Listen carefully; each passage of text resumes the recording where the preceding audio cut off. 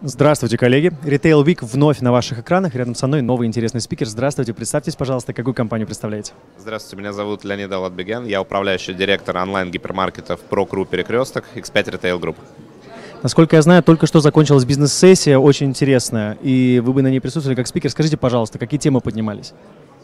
Знаете, сессия была по росту и будущим моделям ритейла, э, и я хотел бы сказать, она действительно была, получилась такой содержательный, да, яркие спикеры хорошие.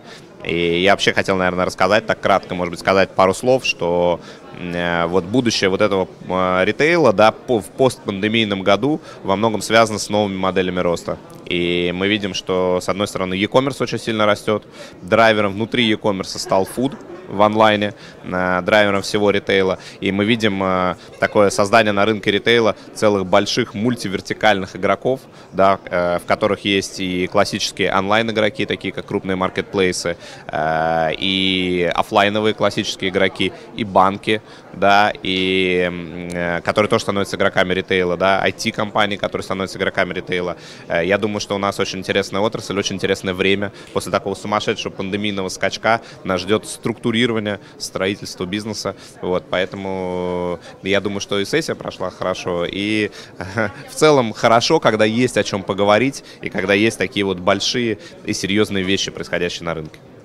Очень интересный вопрос, вот сейчас вы его э, как раз подняли. Скажите, ритейл-рынок и крупные игроки ритейл-рынка, как отнеслись к тому, что IT-гиганты, как Сбер, как Яндекс, вдруг э, зашли на рынок ритейла и тоже стали в нем конкурентоспособными? Скажите, как отреагировал этот рынок и готовы ли ритейлеры крупные, э, которые уже были на рынке, к этому удару? Ну, я думаю, реакция это прежде всего конкретные э, бизнес-кейсы. Да? Вот если посмотреть на X5 Retail Group, то X5 Retail Group стал лидером онлайн-фуда в 2020 году. В 2021 в первом квартале мы подтверждаем это лидерство. Причем сейчас, да, мы делаем ставку не только на темпы роста, но делаем ставку еще и на экономическую эффективность, да, фокусируемся на ней. И я думаю, что вот э, ту экспертизу, которую мы сформировали в онлайн-бизнесе, в digital е, э, да, она очень серьезная. И я думаю, что это во многом э, за счет того, что усиливается конкуренция и входит онлайн-компании, нам еще очень много нужно сделать. У нас еще очень много точек для роста, как э, операционных, так с точки зрения digital и с точки зрения трафика. Э, но я думаю, что нас во многом подстегивает та конкуренция, которая есть серьезная, и мы очень рады, что у нас такой бурный растущий рынок, и когда наши коллеги из digital компаний говорят о том, что они тоже для них ритейл в фокусе, нас это всегда очень радует и бодрит. Здорово. Поделитесь, пожалуйста, впечатлениями от нашей выставки. Может, вы уже смогли посмотреть каких-то интересных партнеров, может быть, какие-то решения интересные тоже присмотрели для себя?